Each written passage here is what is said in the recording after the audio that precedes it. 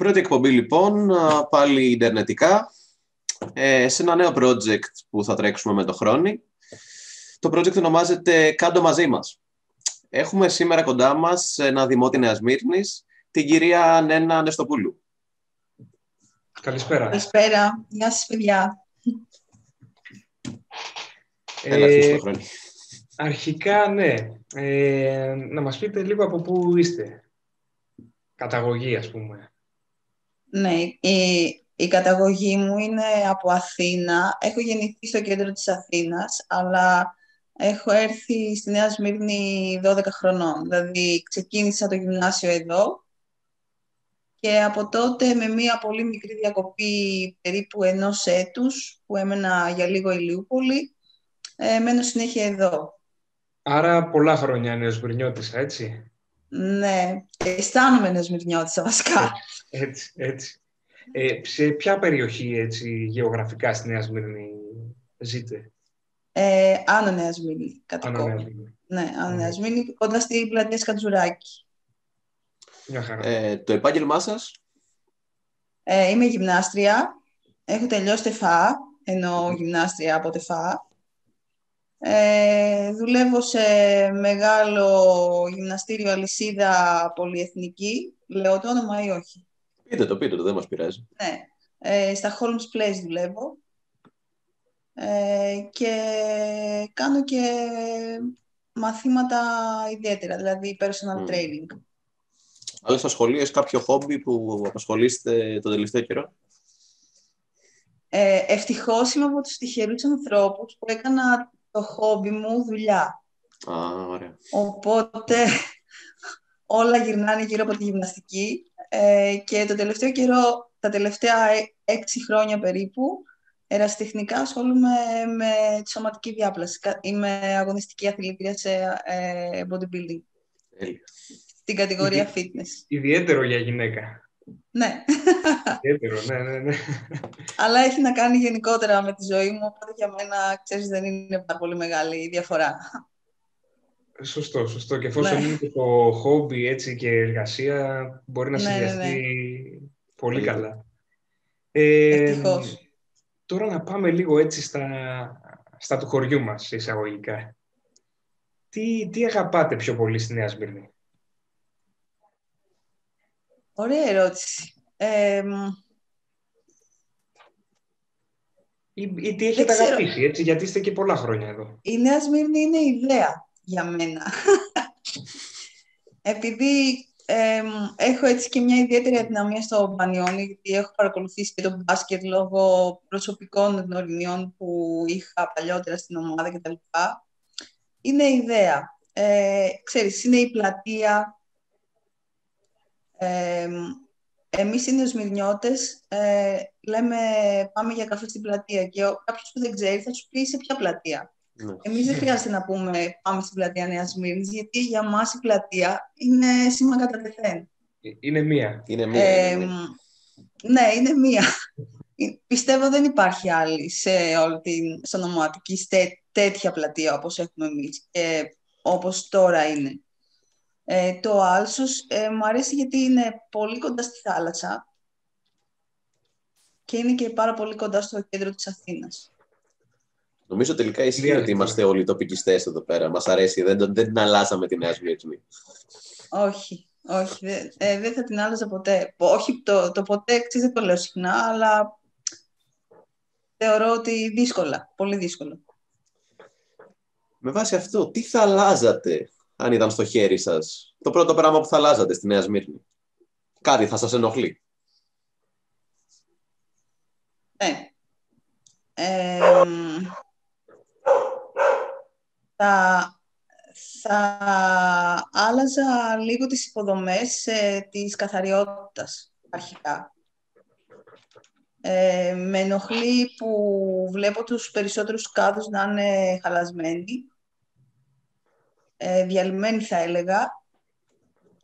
Με ενοχλεί που δεν υπάρχουν ε, τόσο πολλοί κάδοι ανακύκλωσης στους, ε, στις γειτονιές. Δηλαδή, εδώ που μένω τώρα, στο δρόμο μου, ε, ο κάδος της ανακύκλωσης είναι στη γωνία του επόμενου τετραγώνου. Κατάλαβα. Ναι. Και επίσης εμ, θα έκανα μαγικά για να τελειώσουν τα έργα που δεν θυμάμαι πριν πόσα χρόνια πριν ξεκινήσει. Δεν πρέπει να θυμάται και κανείς. Μάλλον όχι. Πάντα υπήρχαν εκεί. Ούτε οι αρμόδιοι δεν θυμούνται νομίζω τώρα πια. Ναι, τον έχουμε χάσει το λογαριασμό. Ευτυχώς που δεν μας έχουν κάνει και ανέκδοτο από άλλες ε, συνοικίες.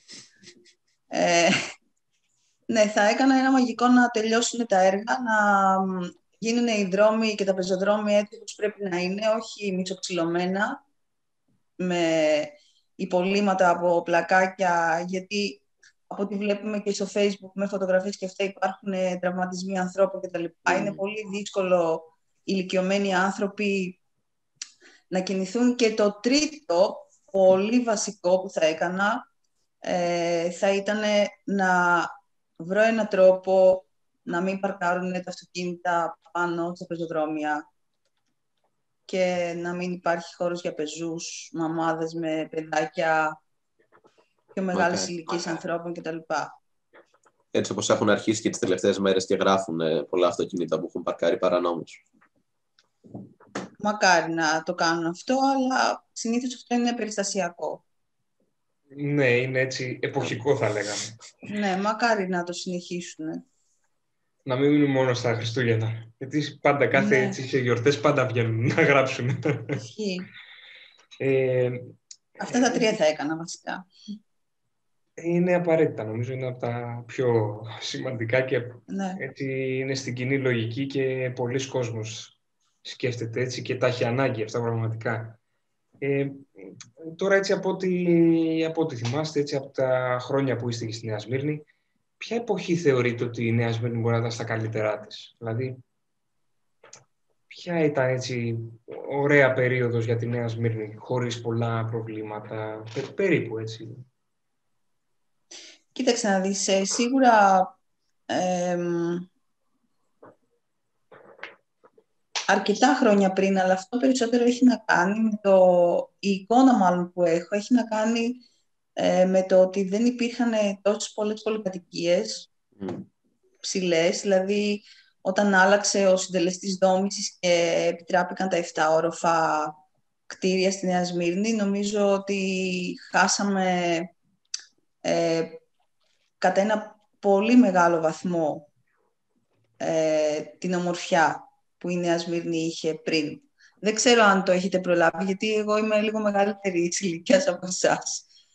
Ε, αλλά έχω προλάβει τη Νέα Σμύρνη με τις μονοκατοικίες και τις αυλές κτλ. κτλ. Ναι, ήταν Εμ. έτσι πιο κοντά σε, στα, πλαίσια, στα πρότυπα της Κικούπολης, ας πούμε, παρά... Ναι, ήταν... Μμ. Τώρα ε, δεν μπορώ να καθορίσω χρονικά αυ- να σου απαντήσω συγκεκριμένα. Σίγουρα όμως τα τελευταία, στο δικό μου το μυαλό, έτσι, ε, τα τελευταία μ, δύο, τρία χρόνια ε, νομίζω ότι έχουμε αρχίσει και παίρνουμε πολύ την κατηφόρα. Μμ. Νομίζω δεν μπορώ να διαφωνήσω. Ε, κανείς έτσι νοήμων δεν θα διαφωνούσε, δυστυχώς. Και μ, είναι αυτό που λέγαμε και πριν, ότι στην προηγούμενη καραντίνα, επειδή είχα πιο πολύ ελεύθερο χρόνο, άρχισα να παρατηρώ λίγο περισσότερο του τι συμβαίνει εδώ και βεβαιώθηκα για όλη αυτή την αίσθηση που είχα, που δεν ήμουν και πολύ σίγουρη, Μμ. αλλά πλέον βεβαιώθηκα ότι όντως τα πράγματα ήταν έτσι όπως τα καταλάβαινα. Τι να πούμε. Πάμε λίγο σε ένα τεστ γνώσεων για τη Νέα Σμύρνη. Για πες. Πάμε να αρχίσουμε την πρώτη ερώτηση. Ξέρετε ότι υπάρχει δημοτική βιβλιοθήκη; Ε, στο Όχι. Δήμο Νέας Σμύρνης. όχι. Εσείς και νομίζω ο περισσότερος κόσμος δεν γνωρίζει ότι υπάρχει μια δημοτική βιβλιοθήκη που είναι εντυπωσιακά εξοπλισμένη για Πού τα βρίσκεται; στάντερ μας. Είναι οδός Αιδινίου 28, είναι πίσω από τη Λάντς. Μπράβο, μάλιστα. Είναι ανάμεσα σε Λάντς και Ελευθερίου Βενιζέλου. Ε, είναι δανειστική η βιβλιοθήκη. Είναι δανειστική βιβλιοθήκη, Ναι, ναι. μέσα είναι εξοπλισμένοι με υπολογιστές. Πάρα πολύ ωραίος χώρος, Όλους που περίεργο. δεν τον ξέρει κανείς. Δηλαδή, πολύ λίγα άτομα γνωρίζουν την ύπαρξή του. Και είναι κρίμα. Είναι από τα πράγματα τα κρυμμένα. Γιατί; Ε, Αυτό δεν μπορούμε να το απαντήσουμε εμείς. Μακάρι να ξέραμε. Ε, θα έχουν τους λόγους τους που το κρατάνε κρυφό. ναι, τι να πω. Ε, πάμε, στη, πάμε στη δεύτερη ερώτηση. Ε, ξέρετε ότι υπάρχει ψηφιακό μουσείο; Στην Ελευθερίου Βενιζέλου Ναι. Σωστά. έχει, συγγνώμη, ε, έχει τύχει να χρειαστεί να παρκάρω εκεί. Άρα Γι' δεν αυτό το το έχετε είδα. σκεφτεί επειδή είναι το ψηφιακό μουσείο; Ε, δεν ε, έχω ενημερωθεί μέσω του Δήμου Μμ. ε, για την ύπαρξη του ψηφιακού μουσείου. Απλά και τώρα μου ήρθε συνειρμός ε, και Μμμ. απάντησα ναι. Αλλά δεν έχω ενημερωθεί μέσω του Δήμου. Μετά το τρίτο. Ξέρετε πως έχουμε δημοτικά ιατρία; Ε, ναι, αλλά δεν ξέρω πού. Ε, μ, αυτό. Είναι στην Δεν ξέρω Αρτάκης. Είναι και κοντά πρέπει να είναι. Μμ. Ναι, ναι, ναι, μπράβο. Δεν ξέρω πώς λειτουργούν και τα λοιπά. Είναι στην Αρτάκης και λειτουργούν αρκετά λίγες ώρες την ημέρα. Τώρα ο πόσος κόσμος πηγαίνει δεν το γνωρίζω ακριβώς. Ναι, οκ. Ε, Ναι, και με τι καθεστώς τώρα, γιατί έχουμε και τη, είμαστε στην εποχή COVID. Ναι. Οπότε ίσως θα έπρεπε να είναι λίγο πιο ενεργά. Δεν το ξέρουμε αυτό. είναι, είναι έργα βασικά όλα αυτά έτσι που θα έπρεπε να, είναι, να τα ξέρουμε γιατί είναι στην ουσία των δημοτών, εμάς αφορούν. Ε, ναι, προφανώς. Να είναι πολλές υπηρεσίες που δεν τις γνωρίζει ο κόσμος. Ακριβώς. Δεν έχει γίνει σωστό promotion. Γι' αυτό και το ρωτάμε. Ε, να γιατί δούμε είναι τι στην ουσία ενημέρωση και- έχει πάρει ο καθένας από το Δήμο. Δηλαδή, δεν είναι υποχρεωμένος κάποιος να έχει ψάξει τις γειτονιές και να ξέρει ότι υπάρχουν. Εννοείται αυτό. Δεν το Και είναι και, συζητάμε. με, και είναι και με δικά μας χρήματα, έτσι. Με δι- χρήματα των δημοτών, όλα αυτά. Ε, πάμε στην τέταρτη. Το ξέρετε ότι έχουμε κοινωνικό παντοβολείο; Επειδή είναι κοντά μου, ναι. το έχω δει. Σε Αλλά μένα- πάλι δεν έχω, δεν έχω ενημερωθεί. Έτσι, ναι. Η αλήθεια Αυτό είναι στην πολύ Αρτάκη κόσμος το βρίσκεται ξέρει. πάντως. Στην Ναι, αρχή της το έχω Αρτάκης, δει. αυτό. Επειδή περνάω πολύ συχνά. Μετά, ένα ακόμα πέμπτο. Ξέρετε πως ο αντιδήμαρχος καθαριότητας έχει πάρει σβάρνα τα κανάλια και τα ραδιόφωνα και ισχυρίζεται πως είμαστε υπόδειγμα καθαριότητας και ανακύκλωσης; Όχι. Νομίζω σας ενδιαφέρει και όλα σχετικά με τα προηγούμενα που μας είπατε Ναι. για την ανακύκλωση. Το έχω γουρλώσει τα μάτια. Νομίζω το προχθές ανέφερα κιόλας. ή πριν. εγώ, ή εγώ ή εκείνος μάλλον ζούμε σε άλλο η περιοχή.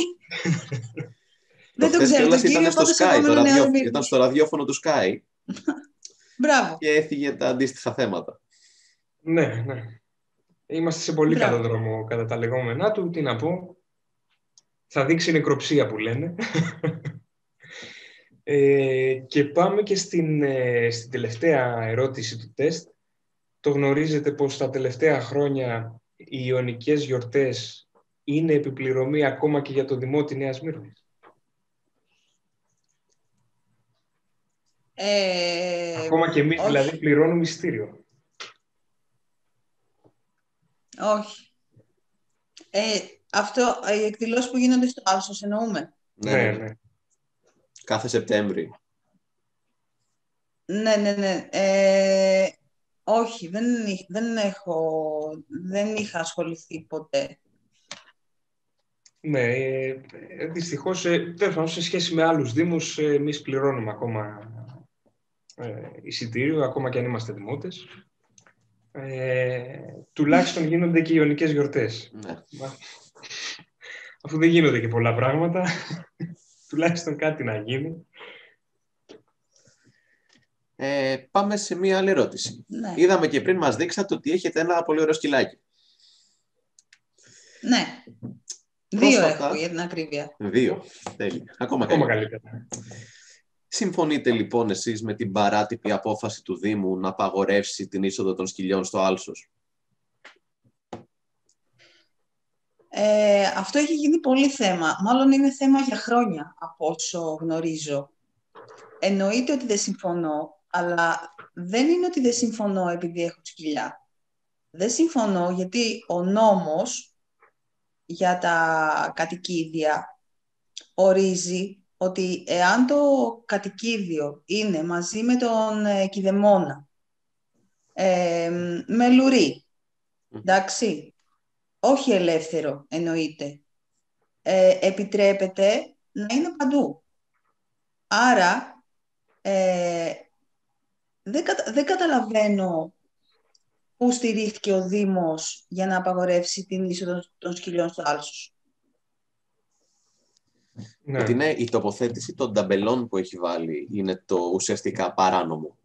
Γιατί δεν μπορεί να απαγορεύσει, όπως είπατε κι εσείς, εφόσον είναι συνοδεία στο ζώο με το λουρί. Έτσι είναι. Το να- Παρ' όλα αυτά, στο Άλσος μπαίνει κόσμος με τα σκυλιά Ναι. και έχει αρχίσει και γίνεται τώρα λίγο διαμάχη μεταξύ των ανθρώπων που έχουν σκυλιά και αυτών που δεν έχουν. Έμπαινε μέχρι την προηγούμενη εβδομάδα ε, κατοχυρώθηκε ότι απαγορεύονται. Α, οπότε τώρα δεν μπαίνει κανείς. Τώρα θεωρητικά απαγορεύεται εντελώς διαρροπάλου. Ναι, είναι Ακόμα και τα παράνομο. δεσποζόμενα σκυλιά απαγορεύεται να εισέλθουν στο Άλσος. Αυτό πώς; Πο- ε, Δηλαδή, Ναι, ε, ε, εδώ υπάρχει έτσι το εξής έτσι conflict που λένε η εξής σύγκρουση. Δηλαδή, πώς, ε, ενώ η νομοθεσία δεν ορίζει κάτι τέτοιο, πώς μπορεί να έρθει ο Δήμος να το ορίσει αυτό και πώς θα το επιβλέψει; Δηλαδή, ε, η γνώμη ας πούμε δική μου είναι ότι εφόσον ε, θα μπορεί κάποιος να επιβλέπει το χώρο και να μην επιτρέπει την είσοδο, γιατί να μην αξιοποιηθεί αυτός ο άνθρωπος στο να επιβλέπει αν αυτός που έχει το δεσποζόμενο κατοικίδιο τηρεί όλους τους κανόνες. Δηλαδή θα μαζέψει ε, το τι θα κάνει το κατοικίδιό του, θα το προσέχει, θα το έχει πάντα κοντά του με το λουράκι του. Δηλαδή ε, νομίζω ότι έχουν, έχει χαθεί λίγο η φιλοσοφία και το πού θα έπρεπε να επικεντρωθούν. καταρχήν υπάρχει φύλακα στο Άλσος. Να ρωτήσω αυτό. Όχι. Θεωρητικά ε, υπάρχει, γιατί είναι... Τύπης. βλέπουμε τι- Ναι, τύπης. Τώρα δεν Ωραία, ξέρω, λοιπόν. ε, στην ουσία και Ε, για πόσες ώρες. Να το θίξω λίγο το θέμα τώρα. Εννοείται. Ναι, πες. Ε, εγώ στο Άλσος ε, κάθε μία φορά την εβδομάδα ε, κάνω προπόνηση σε μία σκομενή μου. Εντάξει, το Άλσος τώρα λόγω του κορονοϊού κλείνει στις 3. ναι. Εντάξει, μην την κρίνουμε αυτή την απόφαση τώρα. Άστο. Ε, τρεις λοιπόν η ώρα. Αν δεν ξέρει κάποιος ότι το άσος κλείνει, γιατί μπορεί να μην είναι από τη Νέα Σμύρνη ή μπορεί να μην είναι σε κάποιο group, όπως είμαστε στο Facebook που μαθαίνουμε τα νέα της Νέας Σμύρνης, γιατί μόνο από εκεί τα μαθαίνουμε τελικά. Εντάξει. Ε, μπορεί να μείνει μέσα. Και θα εξηγήσω το γιατί. Ο φύλακας ή ο υπεύθυνος δεν ξέρω τι είναι, κλείνει όλες τις πόρτες του, άλσου, του άλσους και αφήνει ανοιχτή μόνο την γωνιακή που είναι Ελευθερίου Βενιζέλου και Εφέσου. Τελευταία. Παλιότερα, όταν το άλσος έκλεινε το βράδυ 10-11 η ώρα, ο φύλακας ε, γύρναγε γύρω-γύρω και σφύριζε. Και διώχνει τον κόσμο, σωστά. Ναι, ναι, ναι. Τώρα αυτό το πράγμα δεν υπάρχει. και αν εσύ δεν είσαι από τη γωνία Ελευθερίου Βενιζέλου και Εφέσου και είσαι από την άλλη γωνία και δεν σε δει κανένας, μένει μέσα. Είναι απλά τα πράγματα. Οπότε υπάρχει φύλακας. Το, το πιο πιθανό είναι ότι μάλλον κλειδώνει και φεύγει. Δεν κάνει βάρδια κανονική. Ή αν υπάρχει Προφανώς θα φύλακα, έρχεται τέλο κάποιος να πάντων, κλειδώνει. ή- αρκεί ένας. Και τι κάνει αυτός ο ένας μέσα στο άλσο. Δηλαδή. Ακριβώς, ακριβώς. Δεν θα έπρεπε να έχει έναν και δεν θα έπρεπε να, ε, να είναι μόνο ο ρόλος του το να περνάει ένα κλειδόν. Αυτό ισχύει. Θα έπρεπε να φροντίζει κάποιος άνθρωπος ο οποίος θα κάνει αυτή τη δουλειά να, ότι τηρούνται όλοι οι κανονισμοί από, τους, ε, από τον κόσμο και να μην Βέβαια. αναγκάζει και τον κόσμο να διαπληκτίζεται μεταξύ του γιατί έβαλες το σκύλο σου, γιατί δεν τον έβαλες Έτσι. είναι. ή αυτό απαγορεύεται αυτό. Δηλαδή δεν θα έπρεπε το μπαλάκι να είναι σε εμάς. Θα έπρεπε να υπάρχει Έτσι είναι. μια διαδικασία και έτσι μια πρόβλεψη για όλα. Ε, Και έτσι λοιπόν ε, θα κλείσουμε το, την πρώτη εκπομπή. Ευχαριστούμε που μας κάνατε ποδαρικό. Εγώ ευχαριστώ πολύ. Ε, ευχαριστούμε για το χρόνο σας. Ήταν η Νένα Ανεστοπούλου και ήμασταν ο Χρόνης και ο Ντάγιος.